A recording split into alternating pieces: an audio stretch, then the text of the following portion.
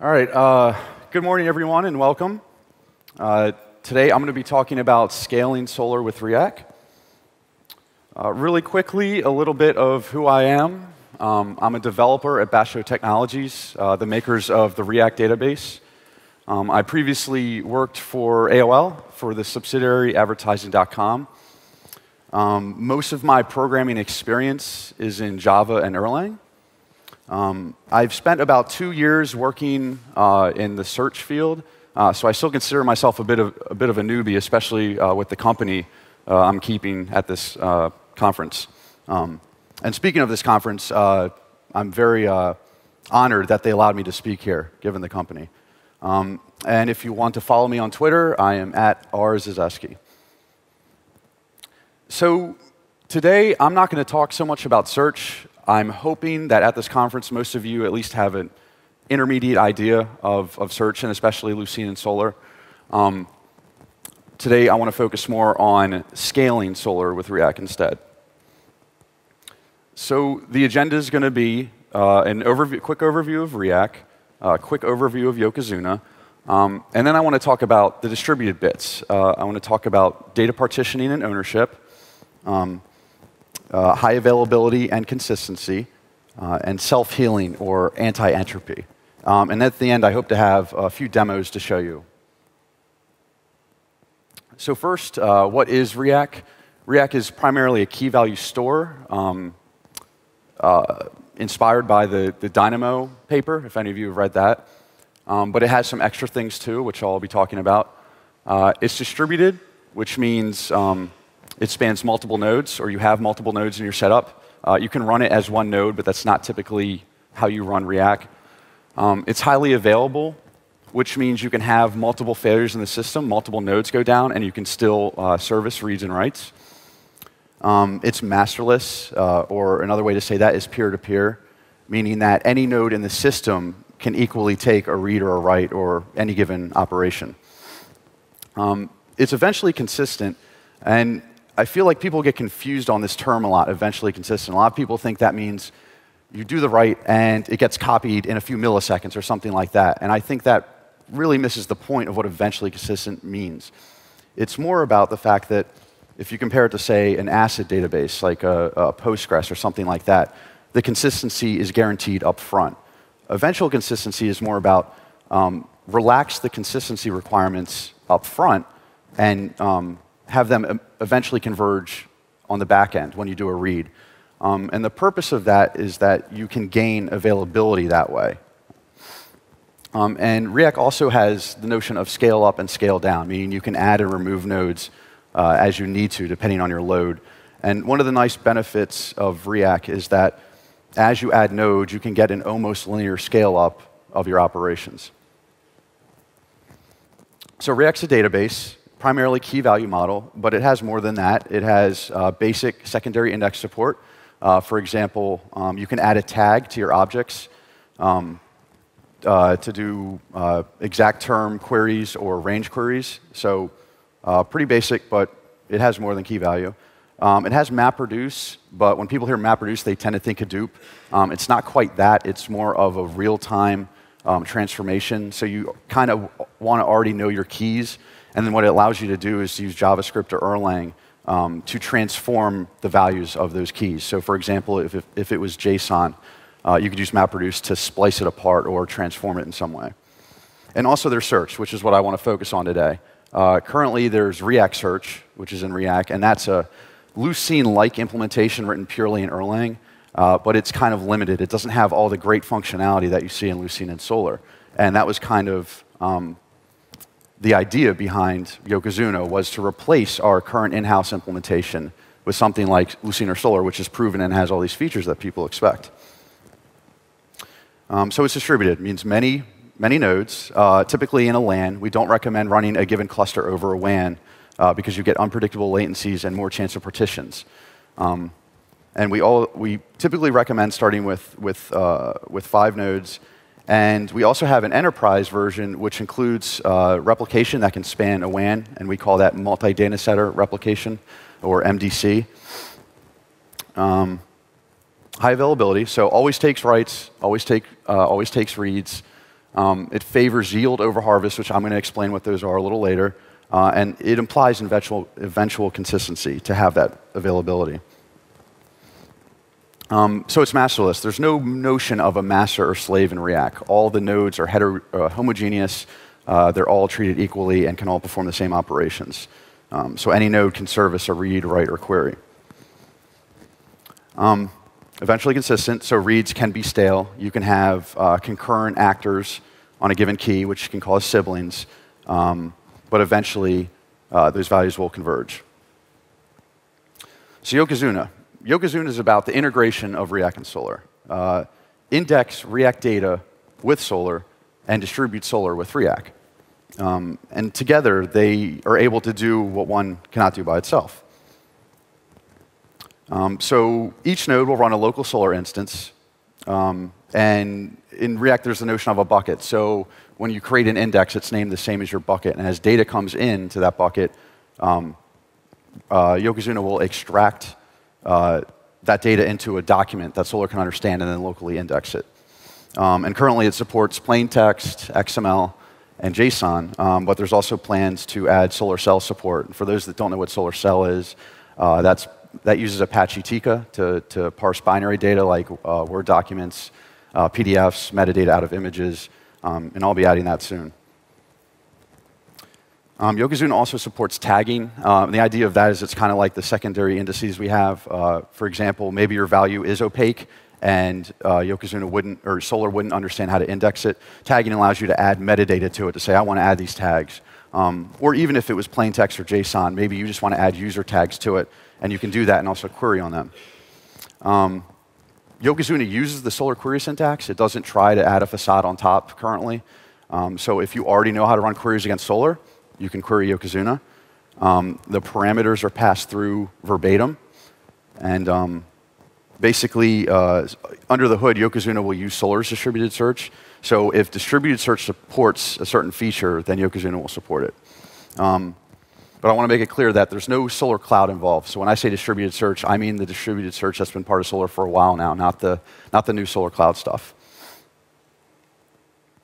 All right, so partitioning and ownership, or uh, Aufteilung and Eigentum. I hope I didn't butcher that too bad.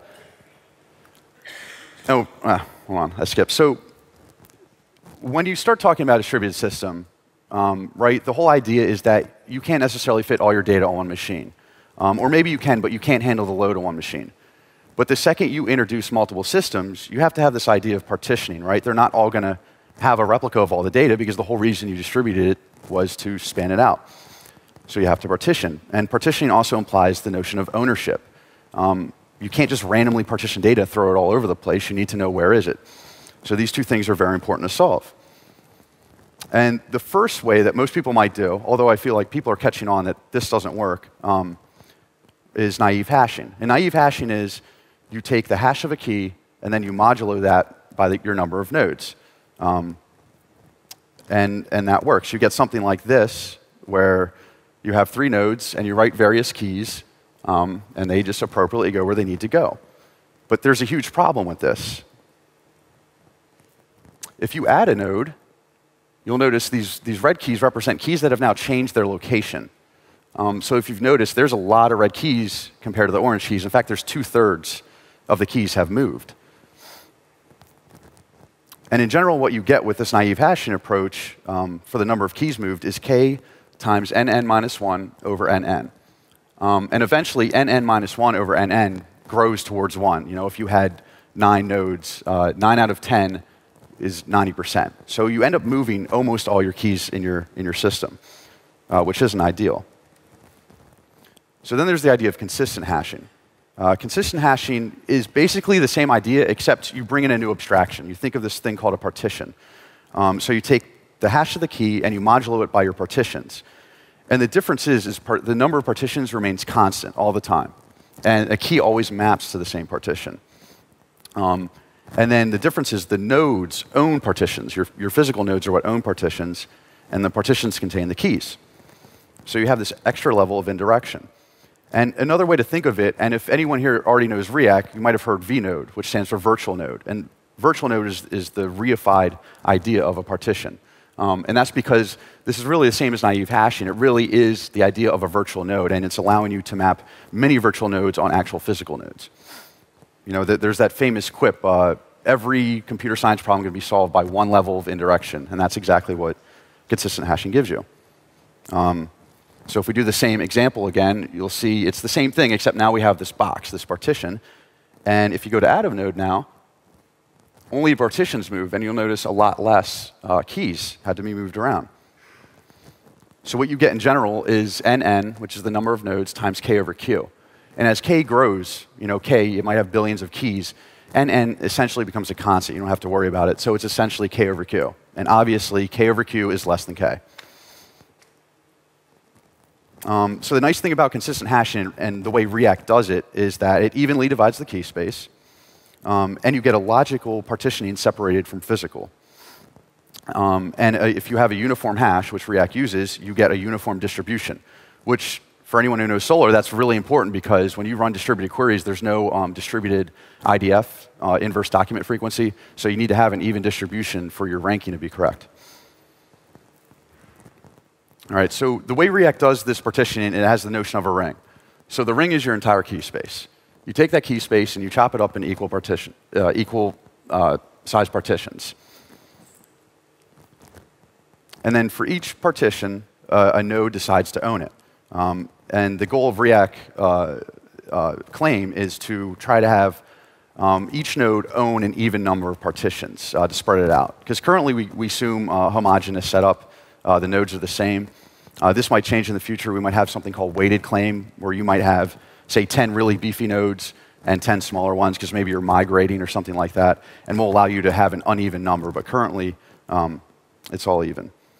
So if you have this and you go to add a node, some of the nodes will give up their partitions. And once again, it'll try to keep that even distribution. Um, so the ring is the data structure that is gossiped between nodes, and it has something called uh, uh, epoch-based consensus. Uh, and all that really means is that uh, when a node joins, um, a new ring is formed, and that ring is gossiped around the cluster until an epoch is hit, a monotonically increasing version. And the reason you do that is then you know all the nodes have agreed on a certain event in time. Um, and this is the same idea with people that use Zookeeper and stuff like that. You know, you want to make sure everyone agrees on something. And this is just kind of our own in-house thing, just specifically uh, for node ownership. Um, and the other nice thing about the ring um, and consistent hashing is this is what makes it masterless. Um, every node has the data structure, and we know they all agree on it. And every node knows the algorithm to apply to the data structure to figure out what node owns the data. And that's what allows any node in the system to deal with any read or write. So this is what writes uh, kind of look like, is you have your nodes, you have your partitions, um, the keys are written, that's in Riak, the, the, key value data, and then each node will have a local Solr instance, and it'll locally index uh, those, the, the values for those keys. And then at query time, um, uh, well, what I didn't mention here actually, the other thing to notice is this is what's called a doc-based partitioning, um, which means for a given term you want to search, um, the index is going to be spread, spread across all the, all the nodes, which means you need to do a, what's called a cover, uh, coverage query. You have to talk to, to all the nodes, which is what we see here.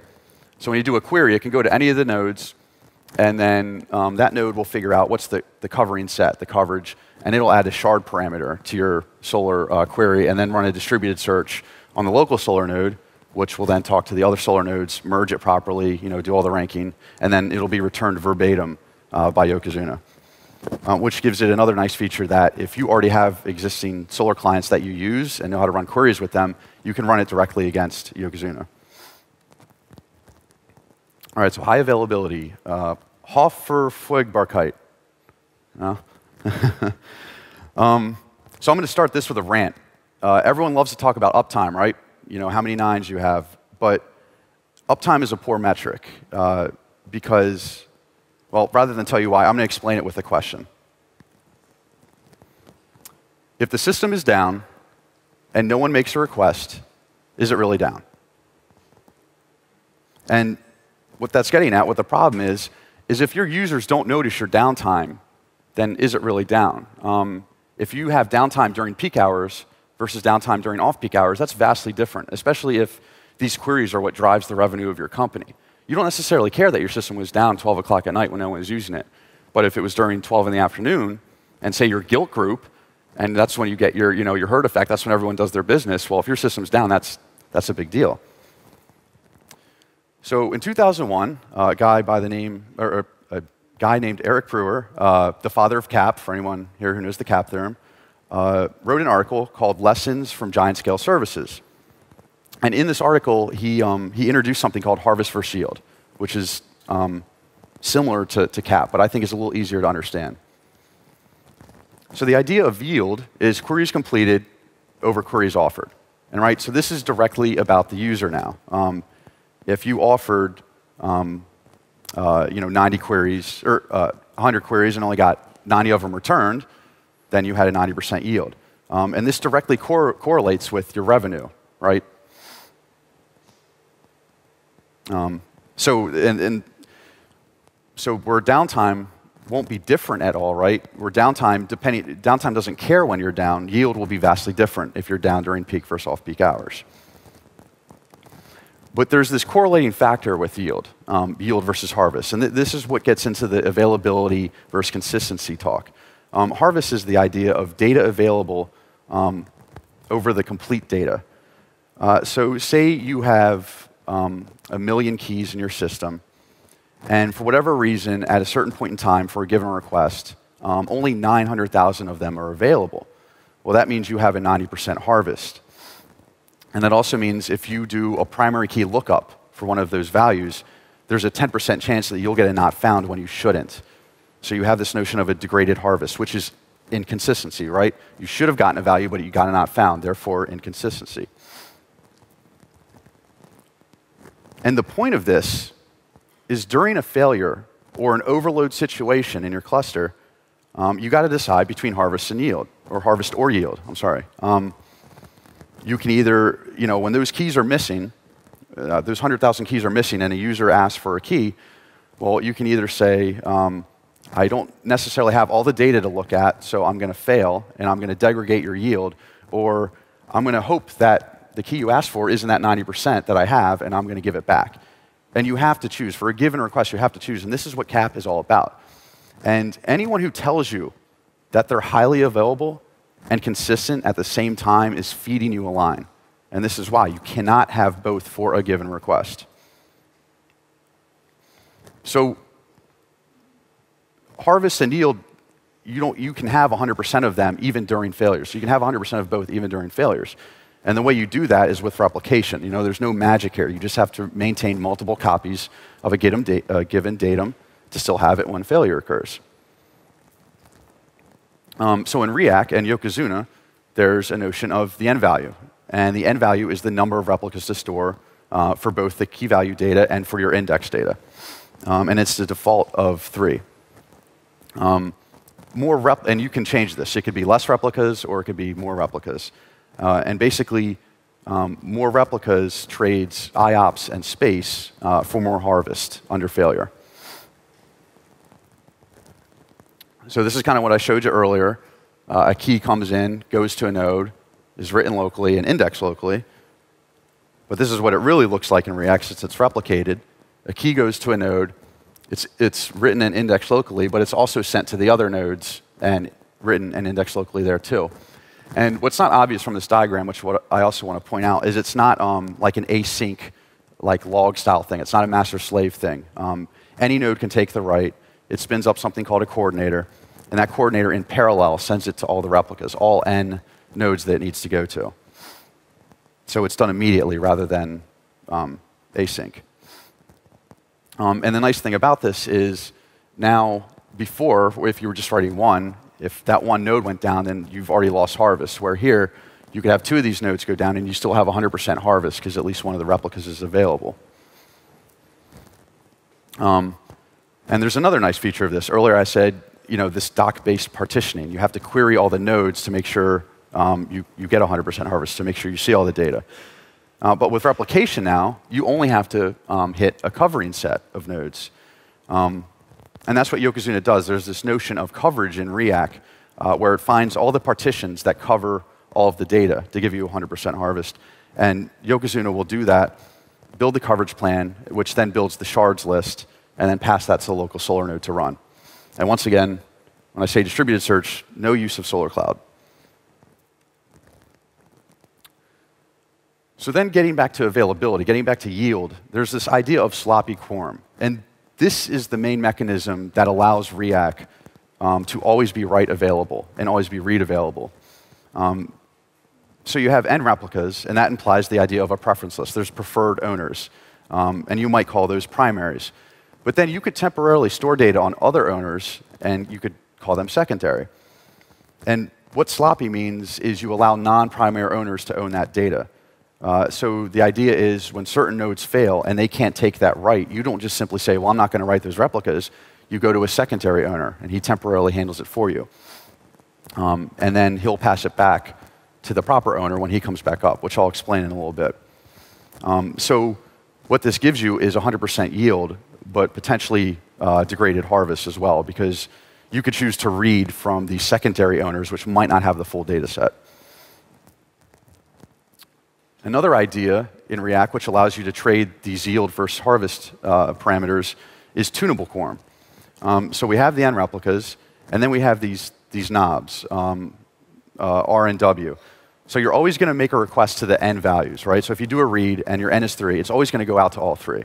But what you can say is you can say, well, I only care that two respond and give me some kind of value. And if those two respond and give me a value, then I'm going to return. Um, and the same goes for rights. You can say, well, I just want to wait for one uh, owner to act the right, and then I'm good to go. Uh, so it allows you to trade off you know, some speed, some latency, and also your harvest for shield. And this is per request. Uh, and also there's PR and PW, which is the notion of, um, it's the same as PNR, but it says, I want to have this minimum number of primaries involved. So Riak has a notion of siblings, right? There's no master to serialize the ops. There's no uh, serializability like you would get in an ACID database. So you can have concurrent actors on the same key, and those options can interleave. Um, and we all know what happens when you let options interleave on mutable state. You know, you can lead to conflicts. Um, so what Riak does, is it uses something called a vector clock. Um, and a vector clock is just a fancy name for the idea of logical time. And what it allows you to do is notice that two writes did not follow from each other. The one write did not see the history of the other one, and so therefore they're parallel versions. Um, and that allows you to detect a conflict and then store both values to later return to the client so they can merge it. Um, it's kind of a similar idea for those that use you know, Subversion or Git, and both of you modified the same file, but you changed it in a way that conflicted with each other, and then it goes, hey, I don't know what to do with this. You figure it out and then recommit. It's kind of a similar idea. And Yokozuna, uh, will index all the siblings. So when, you, when siblings are made, uh, you can still, when you query, if it matches on any of them, you'll get the key back. All right, so now I want to talk a bit about self healing, or uh, Zel Ips Tylon. So, hand, off this gets back to the sloppy quorum idea. Um, when nodes go down, someone else needs to take that data, because you want to try to maintain that, that constant n number of replicas. Um, but when they come back up, you don't want that data to stay there because um, the algorithm wants to think it's on the primary node. So you have to somehow give it back. Um, and so that's what hinted handoff is about. And this is what it looks like. So a typical write comes in, you have your key, and let's say its preferred list, its, its primaries are P1, P2, and P3. And that's owned by node 3, node 1, and node 2. But let's say for a second that node 1 is down, so P2 is unavailable what Riak will do is it'll temporarily write it to um, P3, which is owned by Node 2. And then at some point in the future, um, I think I missed a slide on you guys. Yeah, so that's not, uh, oh, there we go. So at some point in the future, Node 1 will come back up, Node 0 will realize that, write it back to P2, and then kill its local copy because it doesn't need it anymore. Um, and this is called hinted handoff. And the reason it's called hinted is because when this copy was stored on node 0, there was a hint with it. There was a hint with this data that made it realize I shouldn't actually be here. When my proper owner comes up, send me back. Um, so read repair. there's a chance that all your replicas might not agree for various reasons. Um, you know, you could lose disk on your system. Um, maybe a, a, put to one of the remote partitions got dropped for whatever reason. A seg fault happened at just the right time. For whatever reason, there can be divergence. Um, so the idea behind read repair is, like I said earlier, when you do a read, you always go to all n. You go to all three. Um, and you might actually only wait for two of them. Your R might be two, but what the coordinator will do is wait around longer for all three values and check, do you guys agree? If you don't, I'm going to fix you and then I'm going to send you back. So what read repair is really about is taking advantage of the fact that you already decided to, to, to take the cost of the IOPS to get that data back. You might as well check that it's consistent and then send it back. All right, so this is my favorite one, active anti-entropy. So Yokozuna is made up of two systems, right, on two different VMs. You have um, your Erlang VM with Riak, and you have your Java VM with Solr. And anytime you do something like this, you have a much greater chance for inconsistency between those systems, right? You don't have atomic operations. You, you know, it's, it's spanning these two systems, so it's a lot harder uh, to keep them consistent. And, you know, files can be truncated. You can have corruption. Uh, someone could accidentally RMRF your directories. Um, there could be a seg fault between the time the key value um, datum is written and between the index write, um, which means the key value would have it, but the index wouldn't. And, you know, lots of other things could happen. So the point is there's a myriad number of failure scenarios. And some of them are very obvious, but there's some that are nearly invisible. Like if you had a seg fault at the right time, you know, how do you know whether or not um, the key value got indexed? Um, So in order to detect these things, uh, Riak and Yokozuna use something called a Merkle tree. And the idea behind a Merkle tree is at the bottom you have these list of key hash pairs. And then at the top you have a hash of the hashes under at the bottom. And then at the top you have a hash of hashes of hashes of hashes. So the point is, it's a hash tree. Um, and the, point, the reason you do this is for efficiency, right? Um, if you have a billion objects, you don't want to have to iterate through all of them to know if there's a difference. That's going to take a long time, and it's going to eat up a lot of IOPS um, and a lot of CPU. Uh, so the idea is you keep these hash trees built as you go, and then you could compare those million or billion objects with just a, a compare of two hashes. And you could tell, oh, yes, they all agree. I'm good. Good to go. So when you do an exchange, you take the trees,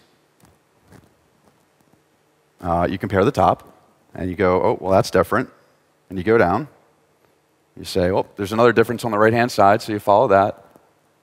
Another difference. And then you go down here, and this is where you, you iterate the list of hashes. And then you find the two differences, and then when we find a divergence, uh, what we do is do a read, which will invoke read repair, and then we also do a reindex. Um, so both the, the KV object and the index will be uh, reconverged to make sure they follow each other. Um, so a little more on these trees. Uh, they're durable. Uh, it's actually a custom implementation written on top of LevelDB. Um, they're updated in real time as writes come in in a non-blocking manner, uh, which is to say that as you're writing the, K, the, the KV, uh, the key value data, um, its write will not be blocked on this hash tree operation. Um, they're periodically exchanged. By default, we have a tick of every 60 seconds. We exchange a certain number of partitions. Um, we invoke read repair and reindex on divergence. Um, and periodically, they're rebuilt. And that gets back to the fact that you would have lots of failures. Even this could go wrong. Somehow your tree could get um, uh, diverge from your actual data. So periodically, we just say, you know what, we don't trust the system at all. Throw away the trees, rebuild it. Um, and by default, we do uh, a tree gets expired every week. So some of you might be thinking, you know, I don't know if maybe any of you have ever run like, say, a MySQL Solr setup or, or Solr and anything else, right? And you might be thinking, well, why don't you just write something that detects when a read, when a, when an index to Solr fails, right? And then you write it in a log entry and you retry it or something like that. And that might work most of the time, but the problem is when that thing goes wrong, right? When your detector script, when that seg faults, or that file gets lost. Well, now you're in the same situation. So now you need a detector for your detector script. And then it's just turtles all the way down because they could all fail. So the point is, in my opinion, I think there's too much of a focus on trying to code for prevention, and really it should be about detection and repair, because you're never actually going to prevent you're never actually going to prevent all these different failure scenarios. All right, so time for the demos, or fluff for wrong.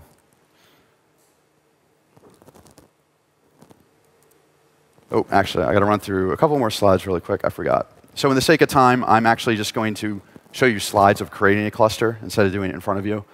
Um, so, right here, I start up five nodes on my local machine.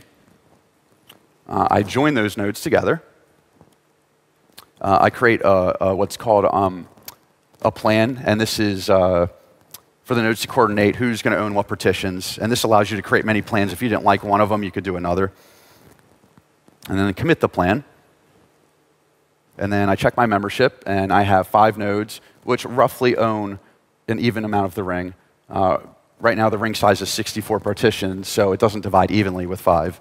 So you get a bit of an imbalance. Um, and then I store a schema. And then I create an index.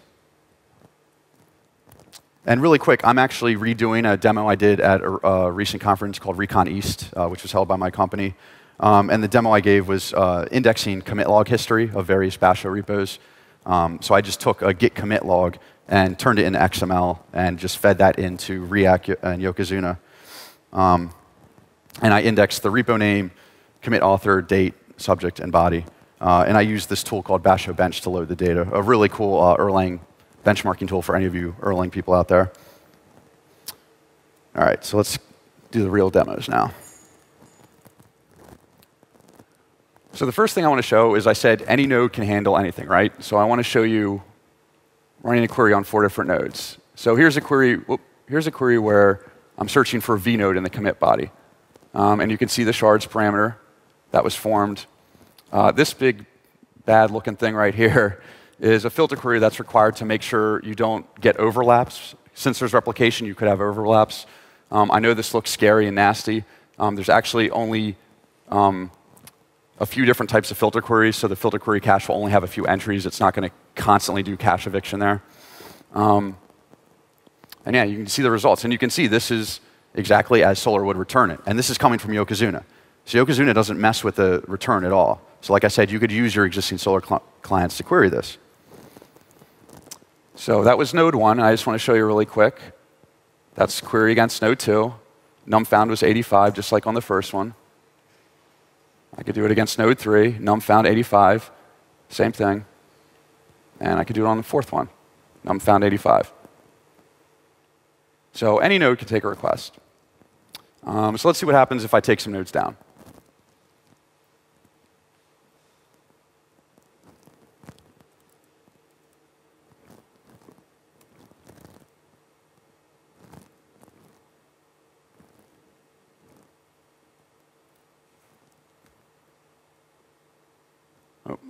That's a little big. Um, but basically, what this is showing you is that dev, uh, Node 4 and Node 5 are definitely down.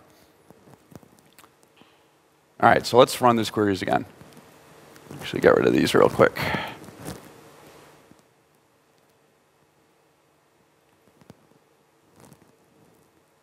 So, responded 85 again. Node 2, responded 85 again. Node 3, 85 again, and node 4, which should obviously fail because it's down.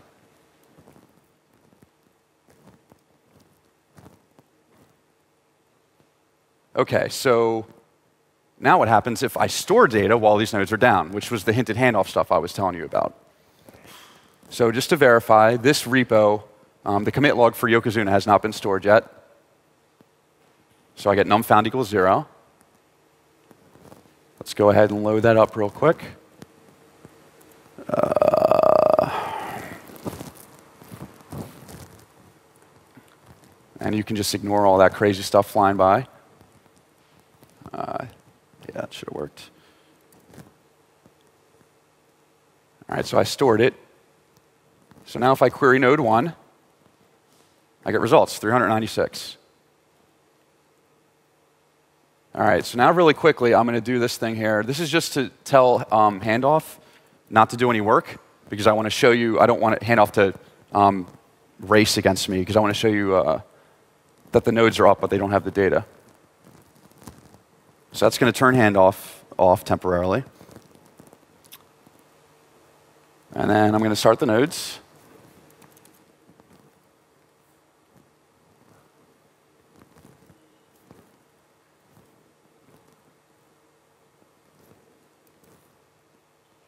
And then, so now I'm going to query the Node 4 Solr instance directly. This isn't going to go through Yokozuna.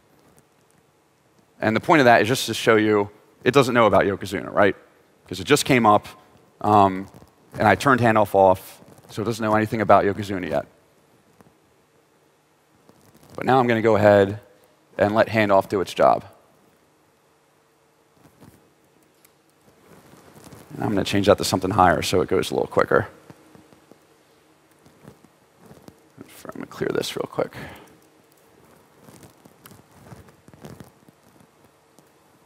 So in a moment, we should see some logs flash by. Hopefully. All right, you can do it. Did not set? Uh-oh.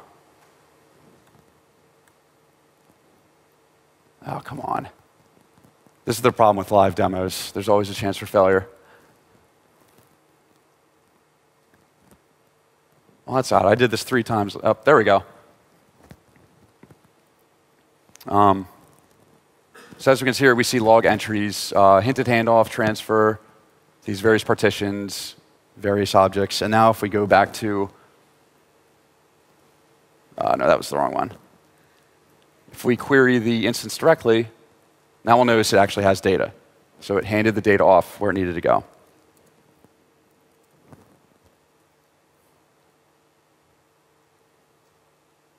All right, so this is the real fun one. So this is the active anti-entropy.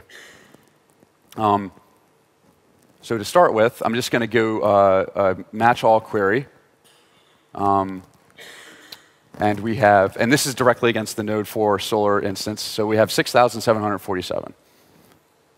And I'm going to go ahead and just completely kill the Solr index for, that, um, for this index.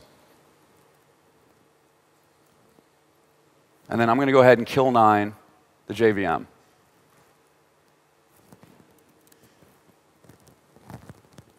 And one thing we'll notice, although it's hard to see here, um, so Yokozuna noticed that the JVM just crashed and it automatically restarted it.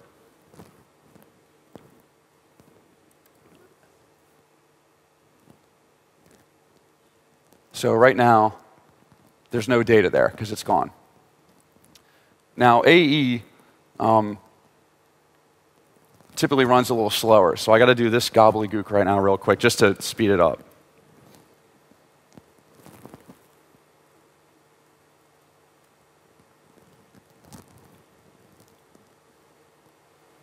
And hopefully this one won't have a lag like the last one.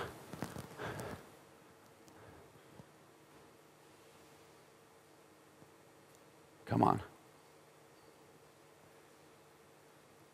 So there we go. So just repaired 153 keys um, by active entropy for a given partition. So then if we start querying node 4 again, so now it's got 340. Now 500. Now 607. Now 789.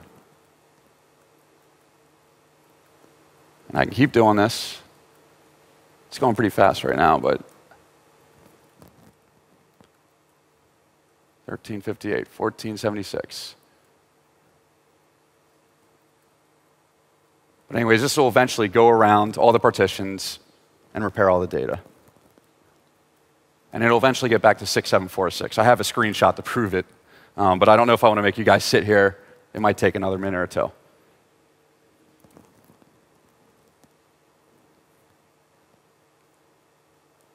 All right. Um,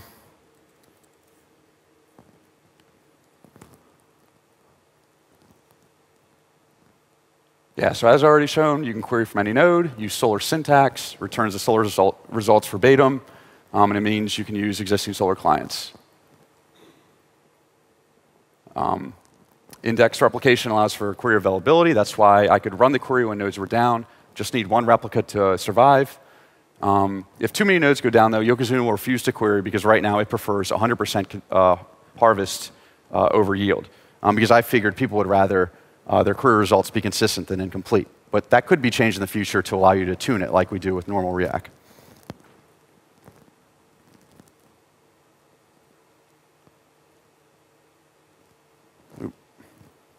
I have to put all this in for the people that aren't here. And that's it. Dankeshwar.